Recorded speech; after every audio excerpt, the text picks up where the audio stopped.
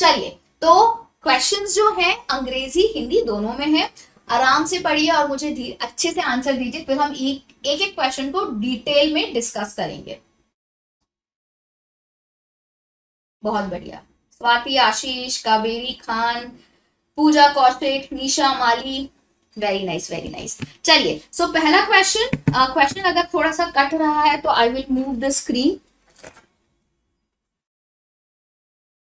अब आपको दिख रहा है पूरा क्वेश्चन राइट यस चलो, पढ़ो। Which among the following skills are considered as soft skill इनमें से सॉफ्ट स्किल कौन सी कहलाई जाती है? Decision making conflict resolution marketing communication leadership you have to tell which are the soft skills.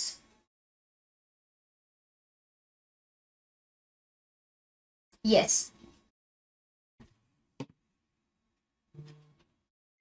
किसी भी जॉब को प्रोफेशन को करने के लिए हार्ड स्किल्स लगती है सॉफ्ट स्किल लगती है है ना?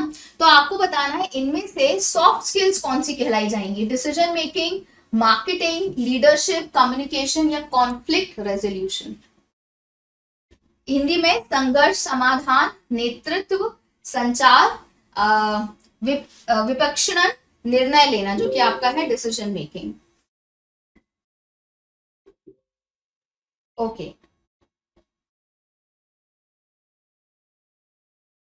बी लग रहा है। पक्का? ए सी ई आपको लग रहा है मार्केटिंग और कॉन्फ्लिक्ट रेजोल्यूशन नहीं है। Uh, इसका आंसर है C A C D E E right so almost everything but marketing so decision making conflict resolution leadership and communication हम यहाँ पे बात कर रहे हैं सॉफ्ट स्किल की है ना? Marketing will be like a hard skill required for any profession मतलब अगर आप कोई मार्केटिंग प्रोफेशनल हो और आपको सेल्स में काम करना है, आपको कोई चीज़ बेचनी है, नहीं तो वो आपका सबसे सबसे बड़ा रिक्वायरमेंट है। क्या आप मार्केटिंग कर पा रहे हो? लेकिन अगर हम बात करें आपका कम्युनिकेशन कैसा है, आपका संचार, संप्रेषण कैसा है, आप में अगर आप किसी कंपनी में फॉर्म में टॉप पोजीशन पे हो तो आपकी लीडरशिप क्वालिटी कैसी है? क्या आप लोगों को मैनेज करने में समर्थ रखते हो? और leadership is very important right बहुत से लोगों में लीडरशिप नहीं होती डिक्टेटरशिप आ जाती है। एक अच्छा मैनेजर एक अच्छा बॉस वो है जिसमें ऐसी क्वालिटीज हो, जिसको लोग फॉलो कर सके और वो टीम को एक साथ लेके चल सके। तो ये सॉफ्ट स्किल और हार्ड स्किल अगर बात in fact conflict resolution and decision making another very important skill मतलब अगर आप किसी भी जगह काम कर रहे हो और आप में डिसीज़न लेने की क्षमता है अच्छे से आप कंफ्यूज नहीं रहो, ऐसा नहीं आप हर चीज़ में आप काम बहुत अच्छा कर रहे हो, आप बहुत अच्छे, आपने मान लीजिए आप यूपीएससी क्वालिफाई किया। आप बहुत अच्छे से आपने ऑफकोर्स पढ़ाई करी होगी प्रिलिम्स मेंस तभी आपने ये पोस्ट ली है। लेकिन अगर उस पोस्ट के बाद आप डिसीज़न नहीं ले पाओ, आप अपना जो निर्णय है उसमें आप हमेशा चूक जाओ तो आपका जॉब वो बेकार हो जाएगा। Right so soft skill is very important and specially you have conflict resolution मान लीजिए हमारे मन में कुछ कॉन्फ्लिक्ट चल रहा है किसी चीज़ को लेकर right there could be there could be many conflict like for example if I say should I be doing this job और नॉट क्या ये सही है, ये गलत है? कई बार हमारे मन में ऐसे ना बहुत विचार आते हैं, हर जॉब में होते हैं, चाहे आप प्रोफेसर भी हो तो प्रोफेसरशिप में भी ऐसा होता है, क्या इस बच्चे ने ये मुझसे एप्लीकेशन दी है? क्या मैं इसकी बात सुनूं कि नहीं सुनूं? तो जो कॉन्फ्लिक्ट रेजोल्यूशन है, ये आपको कोई सिखाएगा नहीं, ऐसा कोई कोर्स में नहीं होता।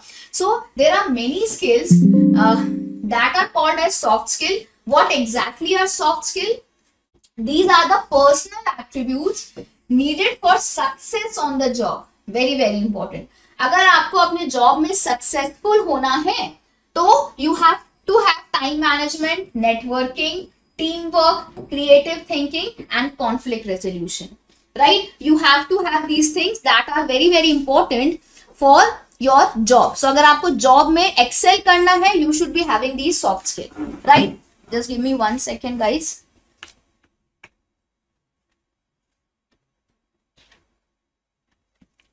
Uh, am I audible properly? ठीक है? आया समझ में? तो सॉफ्ट स्किल क्या क्या होता है? You have presentation skills of course communication creativity debates and seminars negotiation skills personality quizzing तो कहीं ना कहीं ये सारे आपके सॉफ्ट स्किल्स में आते हैं। राइट राइट हाँ और इनको जनरली हम ऐसे पढ़ा नहीं सकते। इनको डेवलप किया जाता है। तभी इंडिया के जॉब मार्केट में सबसे बड़ी दिक्कत आज ये है कि भले इंजीनियर है है ना? वो इंजीनियरिंग में बहुत अच्छे होंगे, लेकिन अगर आप उनसे इंटरव्यू लोगे, उनसे बात करोगे they might not be able to communicate very properly for teaching profession also you should be having the soft skill so that was the first question second question air quality index is represented in what तो ए का representation हम किसमें करते हैं? It is microgram per metre cube is it PPM is it percentage or are these numbers? Very nice. Negotiation uh, मतलब uh, जो आपकी mummy करती हैं कहीं दुकान में खरीदने गई हैं तो भैया बोलते हैं कि मैडम ये सौ रुपए का है। आपकी मम्मी बोल देती है नहीं भैया ये तो पचास रुपए का है। या मम्मी बोल देती है कि तीस रुपए का है।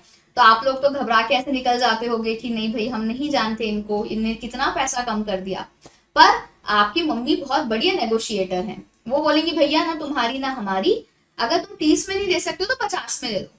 तो हो सकता है फिर आप आगे निकल जाओगे, वो एक्टिंग करके बाहर भी निकल जाती है दुकान के, है ना? ठीक है, नहीं लेना हमको, रहने दो। नहीं दे रहा? फिर वो पीछे से आवाज़ लगाएँगे, अरे मैडम जी, सुनिए, कोई बात नहीं, ले जाइए। तो ये नेगोशिएशन ही तो हुआ। और बिज़नेस में जॉब्स में everywhere you need some kind of negotiation skills right so आप कैसे नेगोशिएट कर पाते हो सामने वाले से?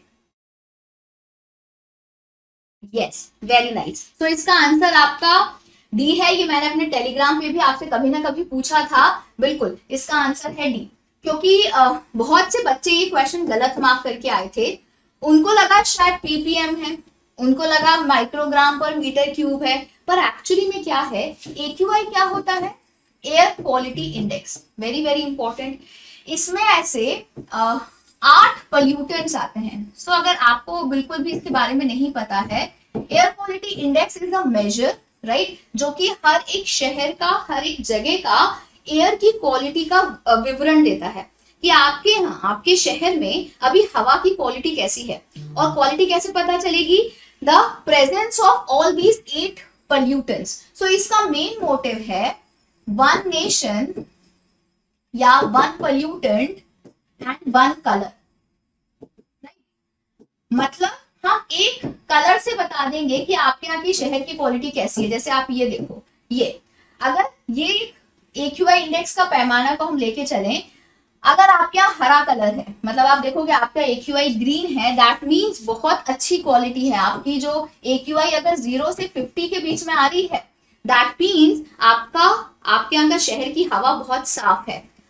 अगर हंड्रेड से डेढ़ सौ के बीच में आ रही है, अगर मान लीजिए येलो है, पचास से सौ के बीच में ऑरेंज है सौ से डेढ़ सौ के बीच में, डेढ़ सौ से दो सौ के बीच में रेड है मतलब अनहेल्दी है देन 200 से 300 के बीच में वेरी अनहेल्दी एंड फाइनली 500 में हज़ार तो कई बार आप एग्जामिनेशन में ये क्वेश्चन आता है this is actually the reality that right now you can check for your city as well कई बार दिल्ली नोएडा गुड़गांव एनसीआर रीजन में आप सुनते हो ए क्यू आई पहुँचा साढ़े तीन सौ पार ए क्यू आई पहुँचा चार सौ पार अभी चार सौ पार हम बोलते हैं ना तो आप कैसे सोच सकते हो कि इसका यूनिट पीपीएम या माइक्रोग्राम हो सकता है What is the AQI? Right now, ma'am, my city AQI is 250. Or if you are coming from a very clean city, you can say, ma'am, my city AQI is around 60. तो आप 60 number बोल रहे हो ना तो AQI का unit number होता है आया समझ में? आया समझ में? Yes if we talk about here you can see ये सारा जो एक्यूआई हम मेजर कर रहे हैं, जब भी न्यूज़पेपर में भी आपने आर्टिकल देखा होगा this is coming in number so zero से फिफ्टी फिफ्टी से हंड्रेड सेटिस्फैक्ट्री ये भी एक बार प्रीवियस ईयर क्वेश्चन पूछा था. This also was asked in previous year कि अगर ज़ीरो से पचास है तो क्या होगा? वो गुड होगा.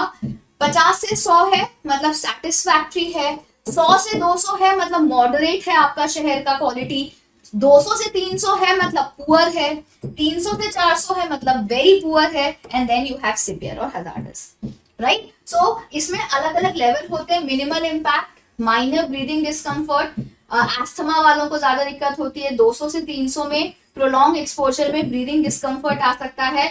बाद में रेस्पिरेटरी इलनेस भी आ सकती है। So here this AQI was actually launched uh, as you know in 2014 around only इससे पहले इससे पहले हम यूज़ uh, करते थे national ambient air quality standard Now this question has also been asked in examination. What is the difference between AQI and NAAQS? NAAQS हम 2009 से use कर रहे थे है ना और ये हाल ही में आईआईटी की मदद से आईआईटी कानपुर की मदद से हमने एक AQI इंडेक्स लेकर आए हैं। And here we have six colour and eight pollutants now अगर आपकी श्रद्धा हो तो मुझे आप होमवर्क क्वेश्चन में बताओगे कि आठ पोल्यूटेंट्स कौन कौन से हैं? SO2, NO2, क्या ओजोन आता है पार्टिकुलेट मैटर आता है क्या? We have eight such pollutants that you will tell me in the comment section after the class ठीक है? Clear any doubt I hope it's clear okay fine let's move to the next question which of the following are recommendations of the NEP 2020 for improving the quality of higher education in India? अब मैंने आपको इस exam के पहले भी बोला था कि शिक्षा नीति अच्छे से पढ़ के जाना, शिक्षा नीति को हम बहुत बार रिवाइज भी हम करके गए थे। तो आपसे सिंपल क्वेश्चन पूछ लिया है कि एनईपी 2020 में क्या बोला है, इनमें से कौन सी चीज़ें बोली हैं, उच्च शिक्षा की गुणवत्ता को बढ़ाने के लिए। Introduction of NRF of higher education institution integration of vocational education into mainstream education establishment of national education qualification framework so what are the recommendation of NEP yes every one AQI is not considered as a percentage value. Because level है ना zero से पचास पचास से, इसमें क्या होता है, जो अलग इंडिविजुअल जो आपके पोल्यूटेंट्स हैं, उनको हम देते हैं parts per million you can use them कि ये पीपीएम में है, या ये माइक्रोग्राम पर क्यूबिक मीटर में है. इंडिविजुअल पोल्यूटेंट्स का यूनिट ये होता है बट एक्यूआई का नंबर होता है. क्लियर हाँ सॉरी हिंदी ये है भारत में उच्च शिक्षा की गुणवत्ता में सुधार के लिए एनईपी 2020 में निम्नलिखित में से कौन सी सिफारिशें हैं?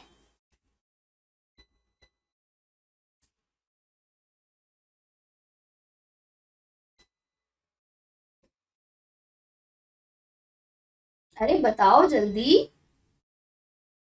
सी डी मैम, इतनी मेहनत करी है एग्जामिनर ने प्रश्न को बनाने में। हम भी तो मतलब थोड़ी मेहनत करके हमको तो लग रहा है सभी होंगे, क्योंकि चारों ऑप्शन दिए हैं और चारों बढ़िया से लग रहे हैं। तो बिल्कुल सही बात है, चारों के चारों हैं, यहाँ पे आपका सरकारी ऑप्शन बिल्कुल सही बैठा है। क्योंकि एनईपी में बात हुई है एनआरएफ की, आपको पता है national research foundation right NRF इसके बारे में मैंने एक शॉर्ट वीडियो भी बनाया था।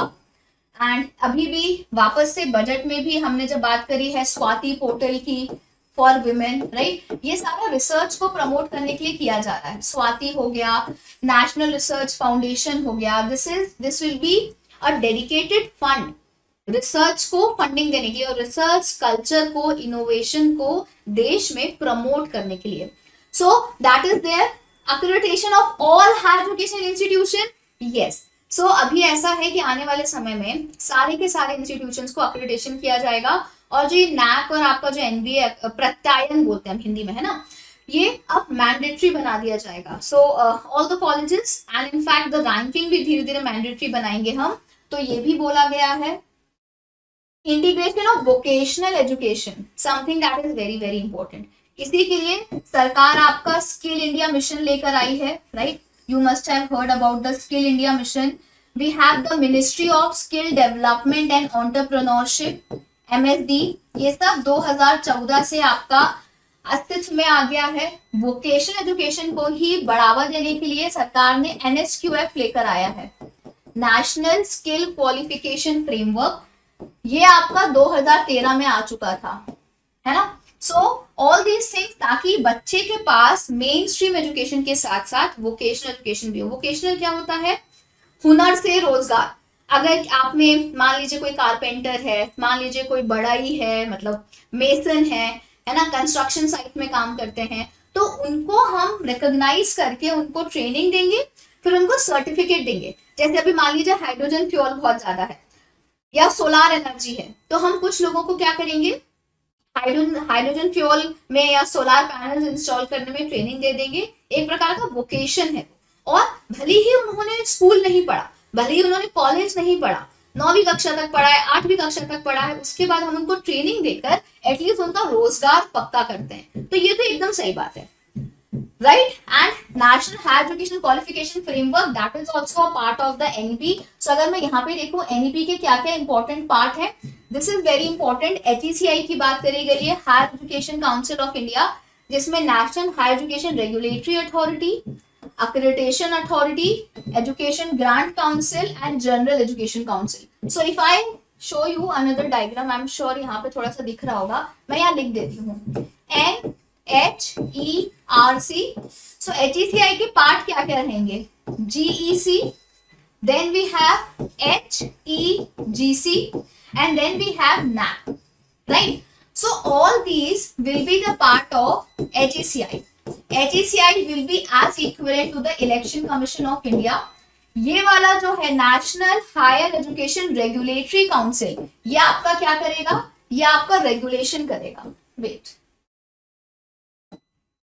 this will be doing regulation अभी जो यूजीसी वगैरह करता है या एआईसीटी करता है एजुकेशन काउंसिल ये है स्टैंडर्ड सेट करेगा। It will be setting the standards right higher education grant council H ये ग्रांट देगा, अनुदान, जैसे आपका यूजीसी देता है, ये है ये प्रत्यायन करेगा अक्रेडिटेशन अक्रेडिटेशन तो आने वाले समय में जो नैक है और जो आपका एनबीए है, ये दोनों क्या हो जाएँगे, चले जाएँगे, इसकी जगह एनएसी आ जाएगा. Clear any one any doubt इनको याद करने का ट्रिक ऐसा है कि देखो पहले क्या होगा? पहले हम सबसे पहले हम क्या करते हैं? हम रेगुलेशंस हमको क्या करना है? हमको स्टैंडर्ड सेट करना है। किसी भी अपने ऐसा सोचो कोई कॉलेज है तो हमको उसका स्टैंडर्ड सेट करना है राइट स्टैंडर्ड सेट करने के लिए हम क्या करेंगे? हम कुछ रेगुलेशन उनको देंगे। कि हम आपको ऐसे रेगुलेशन हम आपको ये रेगुलेशन दे रहे हैं आपको हम ऐसे रेगुलेट करेंगे उसके लिए हम उनको फिर उसके बाद क्या देना पड़ेगा? ग्रांट मतलब पैसे भी तो ज़रूरी होंगे ना? तभी तो वो स्टैंडर्ड सेट कर पाएँगे, अपने अच्छी लैब्स बना पाएँगे। सबसे पहले स्टैंडर्ड सेट करना है, कुछ रेगुलेशंस उनको देंगे। रेगुलेशंस के बाद हम उनको कुछ पैसा देंगे ग्रांट ये सब करने के बाद finally we will give them that is by NAAC तो अब इसका फुल फॉर्म आपको थोड़ा तो रटना ही पड़ेगा राइट बिकॉज़ ये क्वेश्चन एक पीवाईक्यू में पूछा था। पीवाईक्यू में क्या पूछा था? उन्होंने पूछा था कि एच में which was the first council that was made अब वो इतने डिटेल में भी पूछने लग गए आपको पता है higher education commission of India है बट इसके तहत इन चारों में से पहले, पहला कमीशन कौन सा बना था? तो ग्रांट अभी नहीं बना है। एजुकेशन काउंसिल अक्रेडिटेशन ये नहीं है। सबसे पहले हमारा एनएचईआरसी रेगुलेटरी काउंसिल बना है। तो यहाँ पे अगर आप आगे जाके देखेंगे you will see that in this standard setting and the regulation council this one this is most important आपका जो बार काउंसिल ऑफ़ इंडिया है, आपका जो यूजीसी है, या you have any nursing council of India ये जितने अलग अलग प्रकार की काउंसिल्स हैं, उन सबको मर्ज कर दिया जाएगा राइट बट हाँ दो काउंसिल्स मर्ज नहीं होंगे, मैंने बार लिख तो दिया but bar council and your national medical commission इन दोनों को हम मर्ज नहीं करेंगे इसमें। मतलब जो आपका पहले एमसीआई था, अब आपका नेशनल मेडिकल कमीशन हो गया है। मेडिसिन का जो रेगुलेशन है, वो अभी भी वैसा ही रहेगा। We will not merge that in HECI now these are the tricky question वो पूछेंगे, क्या सबको मर्ज कर देंगे? तो आप खुश हो जाओगे एक्साइटेड हाँ हाँ सही बात है। काउंसिल बना तो सभी को मर्ज करेंगे ना? नहीं। लॉ और मेडिसिन इन दोनों को हम अभी भी अलग रखेंगे, बाकी को हम मर्ज कर देंगे। Clear any one any doubt I hope it's clear चलिए computers have evolve from the early mainframe computer to the relatively small smart devices with high computing power. Which of the following inventions contributed to reduce the physical size of the computer? आपको बताना है, पहले जो computer बड़े बड़े होते थे, है ना? भीम साइज़ के पूरे कमरे में कंप्यूटर भर जाता था। अभी तो छोटू से हो गए, हाथ में आ जाता है। हम चलते फिरते कंप्यूटर यूज़ करते हैं। तो आपको बताना है, कौन सा इन्वेंशन है जिसने इसका फ़िज़िकल साइज़ को, भौतिक आकार को कम कर दिया है? वैक्यूम ट्यूब ट्रांजिस्टर्स आईसी या cathode ray tube yes, everyone everyone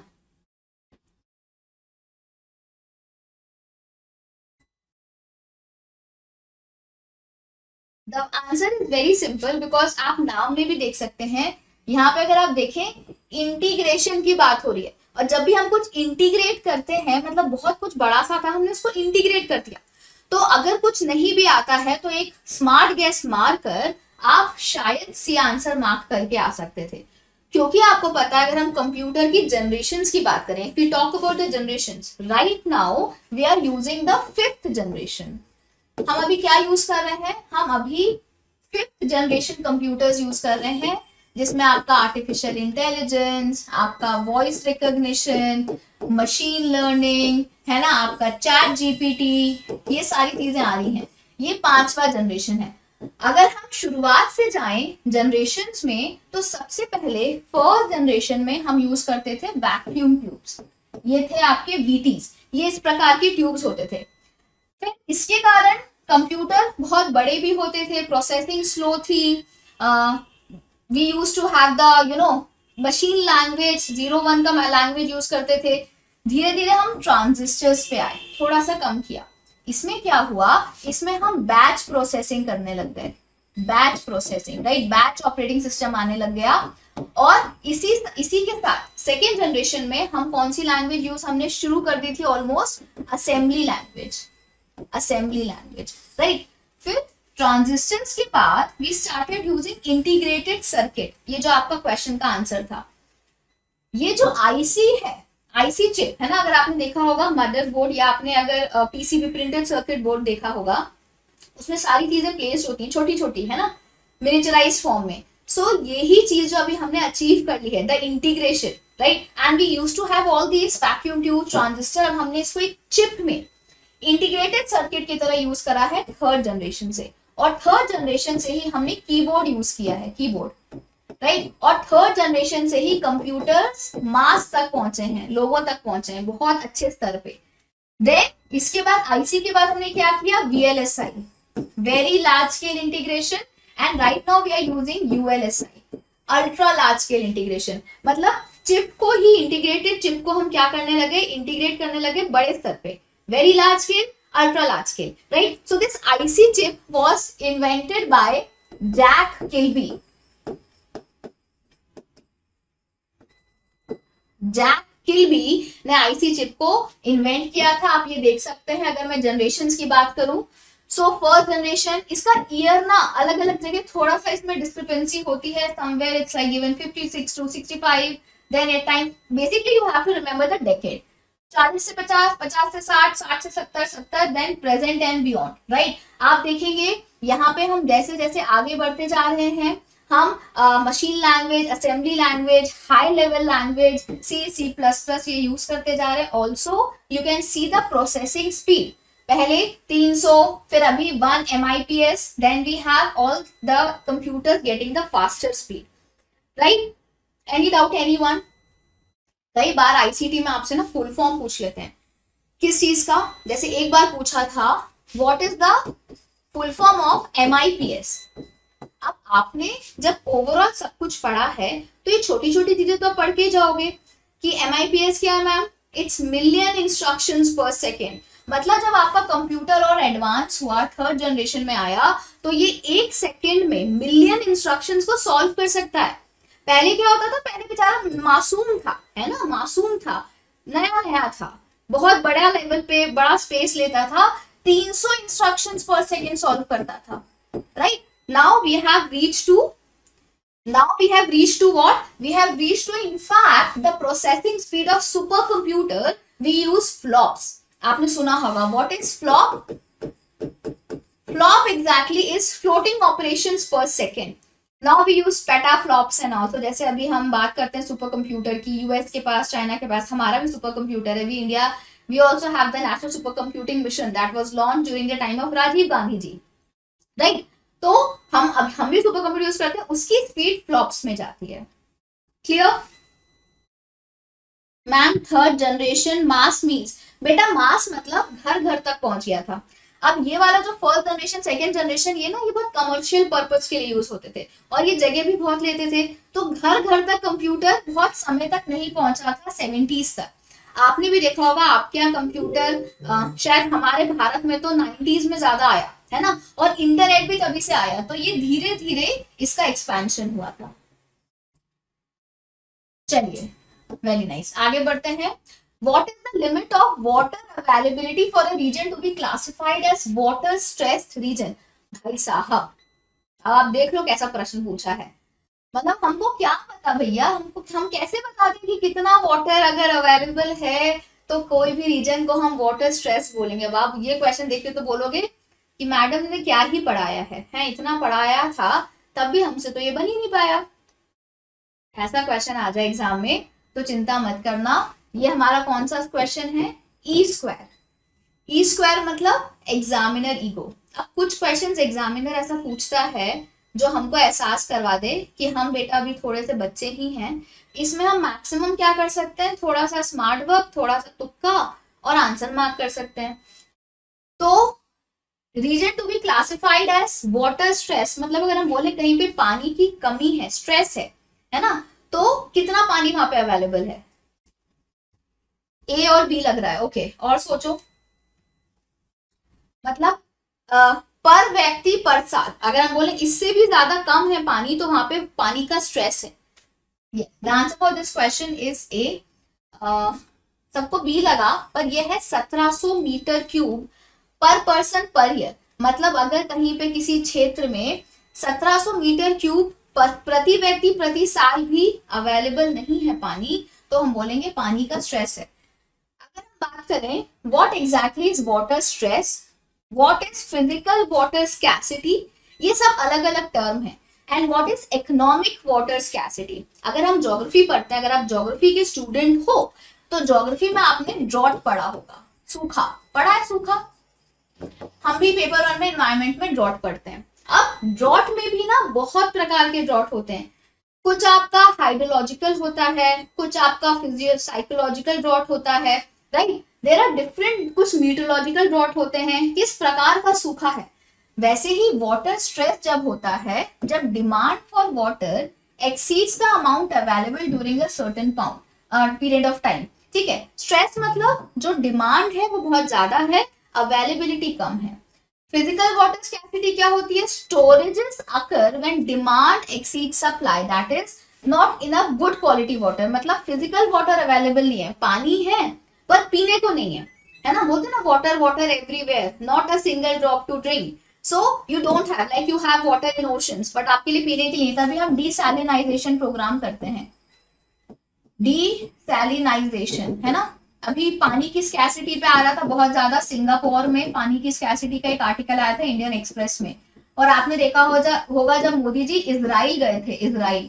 Israel में बहुत बढ़िया डीसैलिनाइजेशन प्लांट है जो हमको भी इंडिया में उस टेक्निक को लाना है। तो मोदी जी ने वहाँ घूमे थे बीच पे और उन्होंने बड़ी बातें करी थी कि देखिए क्या बढ़िया डीसैलिनाइजेशन प्रोग्राम है। भारत को भी इसराइल से सीखना चाहिए। तो वही है अमाउंट ऑफ़ वाटर इकोनॉमिक क्या होता है?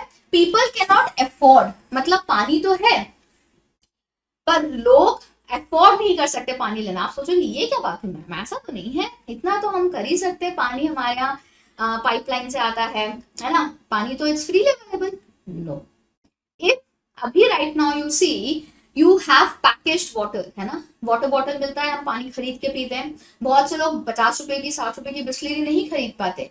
और आने वाले समय में क्या होगा?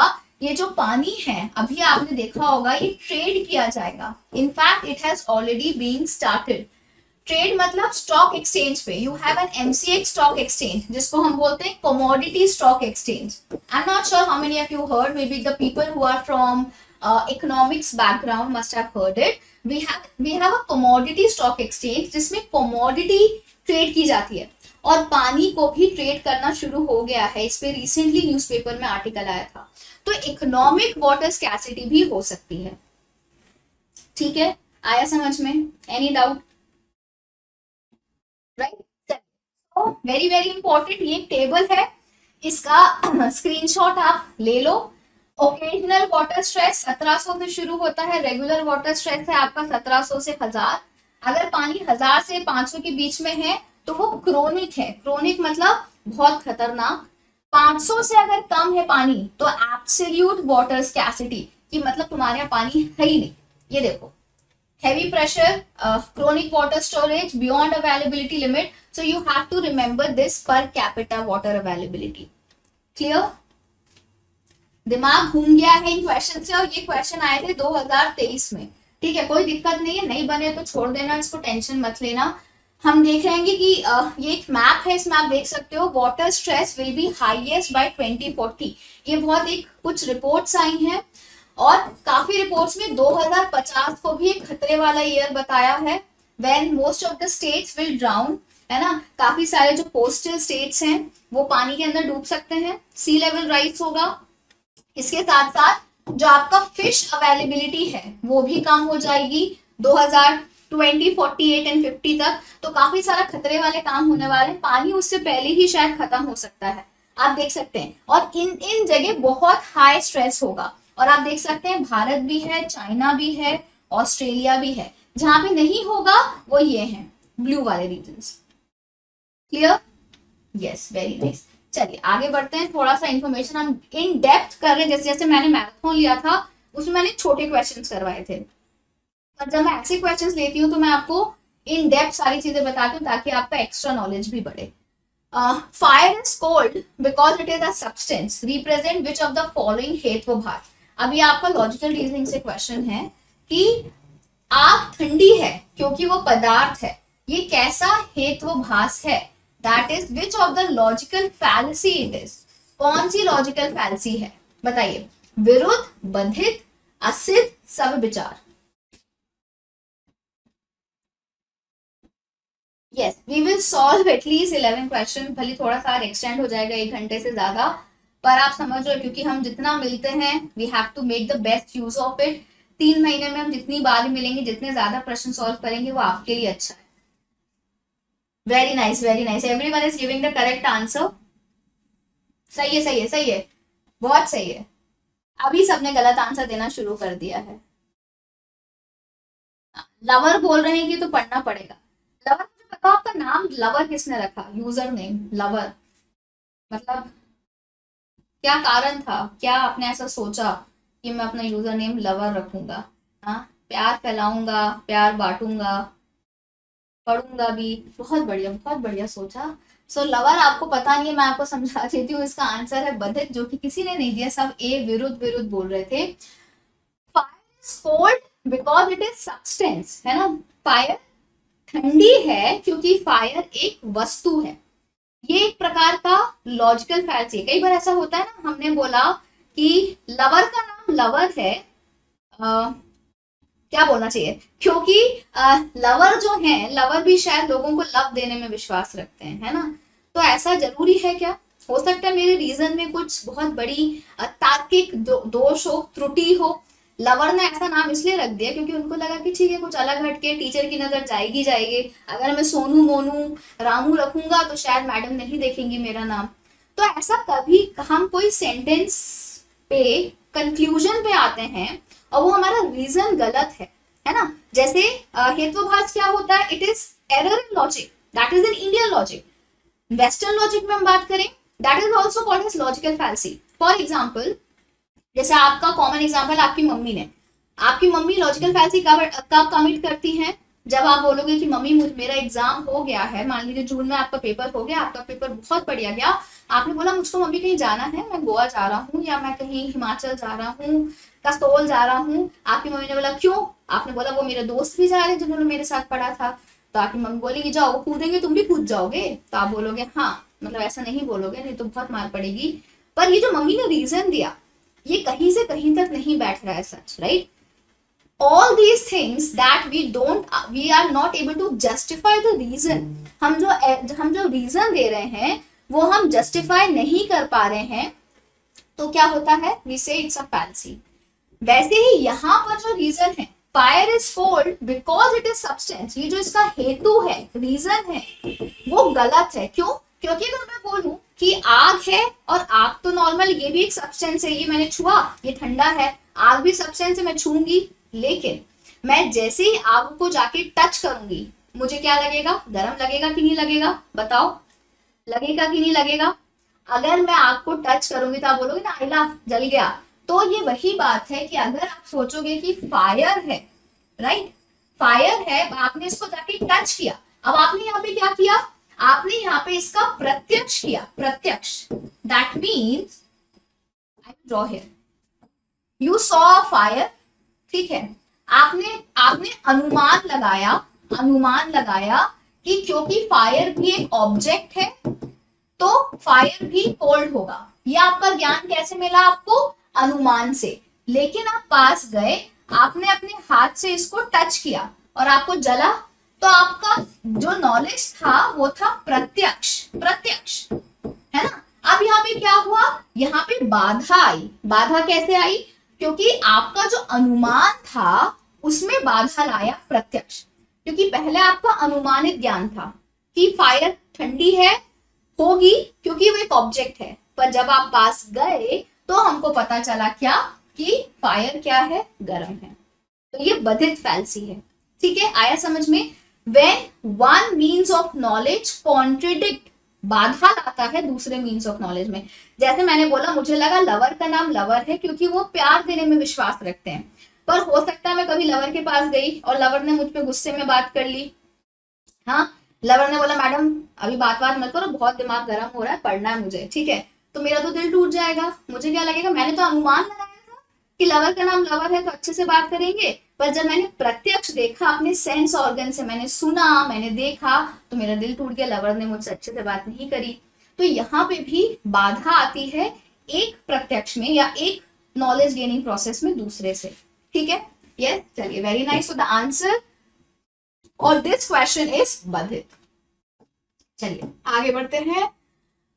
Soap sitcom and comics are part of which type of culture high brow culture middle brow culture restrictive culture या पॉपुलर कल्चर ये हम कम्युनिकेशन में पढ़ते हैं right high context culture low context culture या हाई ब्रो कल्चर तो आपको बताना है जो आप सोप्स देखते हो सिटकॉम्स देखते हो, ये कैसा कल्चर है?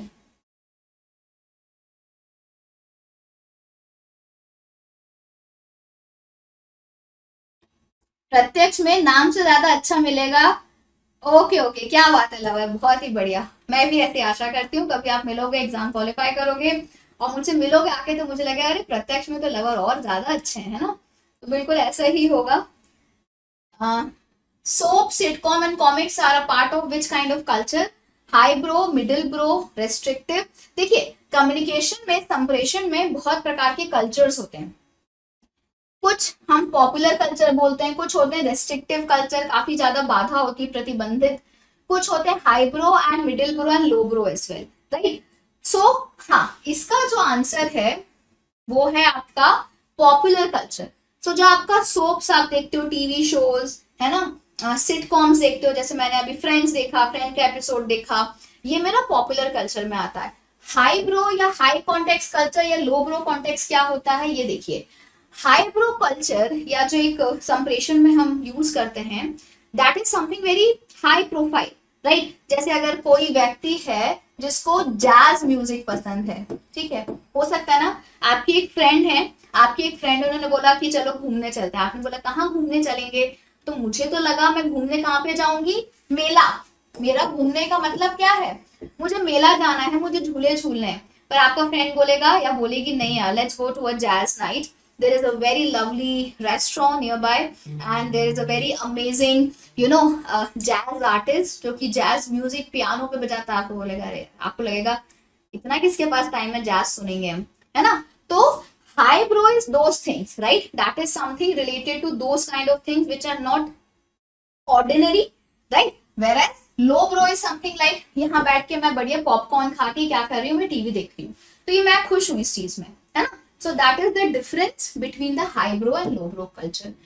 Next question. In water treatment, aeration is a process which removes excess and objectionable gases, readjust the pH of the water, removes the large particle of flock from water, remove the solid particle अब आपको बताना है जल उपचार में वातन वह प्रक्रिया है जो अतिरिक्त एवं आपत्तिजनक गैसों को दूर करती है पानी के पीएच को समायोजित करती है पानी से फ्लॉक को हटाती है या ठोस कणों को हटाती है।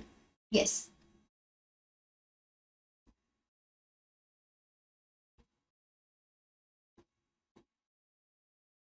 बिल्कुल क्लासिकल सॉन्ग हो गया। अब क्लासिकल म्यूज़िक बज रहा है, वो हर किसी के समझ में नहीं आएगा। That is a high brow culture right comics पढ़ रही हूँ मैं नॉर्मल गाना सुन रही हूँ, वो लो ब्रो कल्चर है।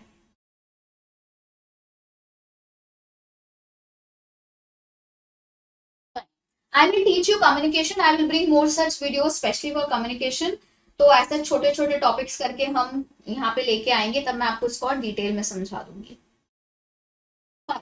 The answer for the eighth question सबको लग रहा है बी और सी सबको लग रहा है बी और सी लार्ज पार्टिकल और बी भी लग रहा है पीएच बेटा मुझे ये बताओ एरेशन करोगे? चलो हम तुम्हारी समझ को समझने की कोशिश करते हैं। तुम एग्ज़ाम में बैठे हो और तुम्हारे सामने एक क्वेश्चन आया।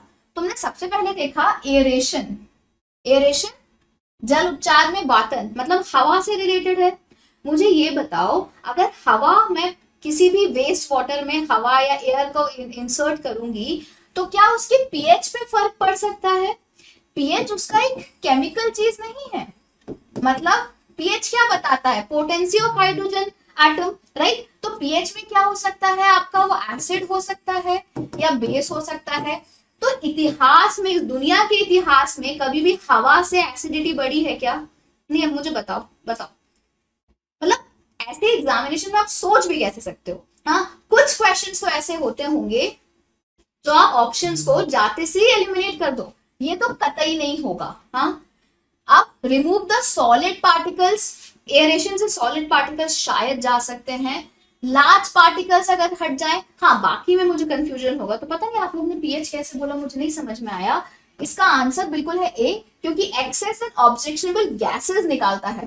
कहीं ना कहीं एयर से जो है गैसेस होती हैं, वो निकलती हैं। हेयर यू कैन सी जैसे ये आपका water waste water treatment plant है है ना? ये प्रेशर टैंक है, यहाँ पे ये एरेशन टैंक है। यहाँ से क्या होता है? हम इस टैंक से इसमें हवा धीरे धीरे मिलाते हैं।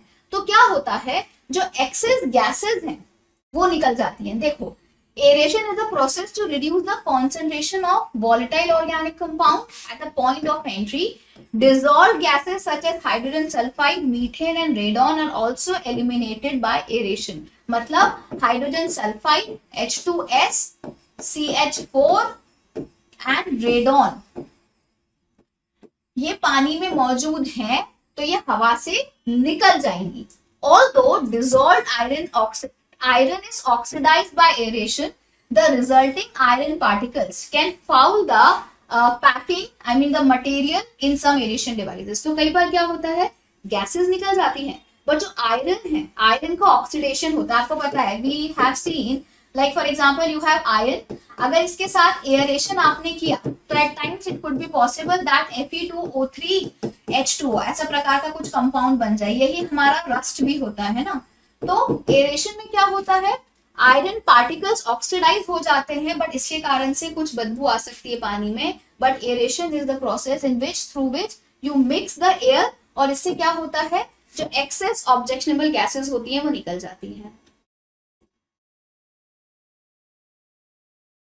अच्छा कोई बात नहीं, मुझे आपकी समस्या समझ में आ गई। तो एक काम करेंगे, एक अलग से लेक्चर लेके आएँगे, जिसमें हम पूरा वाटर ट्रीटमेंट प्लांट समझेंगे। ठीक है? बताओ किस किस को चाहिए? Should I bring a lecture in which I should explain you the entire water treatment plant ये मैं पेड कोर्स में तो करती हूँ प्लस में। तो अगर आप कोर्स लोगे जो कि शुरू होने वाला है मार्च से, उसमें हम एनवायरमेंट स्टार्ट करने वाले हैं।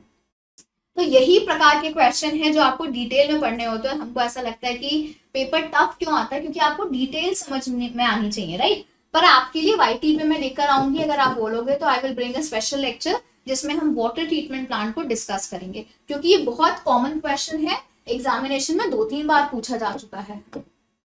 चलो, ये आपके लिए है तोहफा तोहफा तोहफा। लाया लाया लाया। बहुत आसान क्वेश्चन है। UGC was establish on the recommendation of what? University education commission higher education commission ministry of education या प्लानिंग कमीशन यूजीसी की स्थापना किसकी सिफारिश पे की गई थी? विश्वविद्यालय, उच्च शिक्षा शिक्षा मंत्रालय या योजना आयोग। ऐसे क्वेश्चन भी आते हैं। ऐसा नहीं है कि आपसे सिर्फ़ डरावने क्वेश्चंस पूछेंगे। एवरीवन एक बार क्लास को प्लीज़ लाइक कर दो। प्लीज़ एक बार क्लास को लाइक कर दो। Make sure you are liking the session right that will mark your attendance कि आप इस क्लास में थे। एड पॉपुलर के चक्कर में चला गया। अच्छा लड्डू क्वेश्चन